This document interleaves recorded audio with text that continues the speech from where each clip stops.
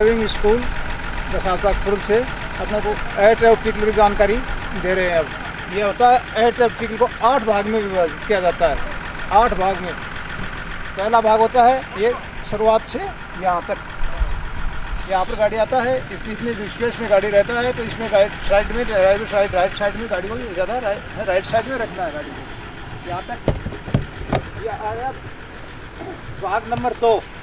यहाँ तक गाड़ी आता है तो राइट साइड में ही रखना है ड्राइवर को साइड में, गाड़ी को रखते हुए यहाँ से। ये आ गया भाग नंबर तीन। यहाँ तक भी गाड़ी को राइट साइड में दबा के चलना है, ताकि अंदर की लाइन टच नहीं हो। ये भाग नंबर चार। यहाँ पर, यहाँ तक गाड़ी को, यहाँ राइट साइड में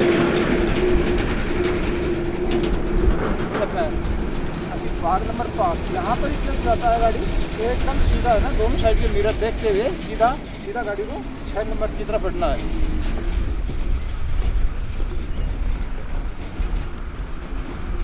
ये छः नंबर, यहाँ पर गाड़ी को हमेशा लेफ़्ट साइड में दबा के रखना है। लेफ़्ट साइड में, ताकि गाड़ी अंदर की लाइन को क्रॉस नहीं करे टच नहीं करे। यहाँ तक, यानी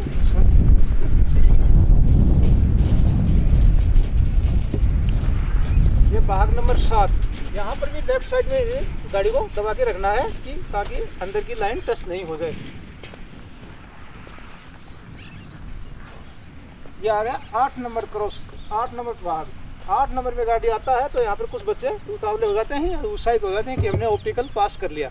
नहीं, दोनों साइड के मिरर देखते हुए गाड़ी को आगे बढ़ाना है। आठ नंबर से आगे। पार्किंग की तरफ़।